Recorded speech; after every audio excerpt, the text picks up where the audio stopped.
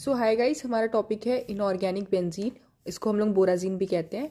ये आप देख सकते हैं इसका formula B three N three H six okay ये इसका स्ट्रक्चर है. यहाँ बोरॉन है, इसके पास वेकेंट पी ऑर्बिटल है और अमोनिया ये नाइट्रोजन है, इसके पास लोन पेयर है, ठीक है? इसका प्रॉपर्टी क्या होता है? ये लिक्विड फॉर्म में एग्जिस्ट करता है और कलरलेस लिक्विड होता है और ये डायमैग्नेटिक होता है. मतलब इसके जो सारे इलेक्ट्रॉन्स होते हैं, वो पेयर्ड होते हैं. अनपेयर्ड इलेक्ट्रॉन नहीं होता है इसमें. और ये अगर बेंजीन से अगर हम लोग इसको कंपेयर करें तो ये एरोमेटिक तो कम होता है बेंजीन इससे ज़्यादा एरोमेटिक होता है, लेकिन ये बेंजीन से ज़्यादा रिएक्टिव होता है। क्यों? क्यों देखिए? क्योंकि बेंजीन में देखिए कार्बन कार्बन बॉन्ड होता है ना सारा, पर यहाँ पे देखिए ये होता है बोरॉन और नाइट्रोजन का बॉन्ड होता है। इस वजह से ये ज़्यादा रिएक्टिव होता है बेंजीन के कंपेरेटिवली और यहाँ पे देखिए न्यूक्लियोफिलिक सेंटर कौन सा और इलेक्ट्रोफिलिक कौन सा है? देखिए नाइट्रोजन है, इसके पास लोन पेयर इसलिए ये न्यूक्लियोफाइल की तरह एक्ट करता है।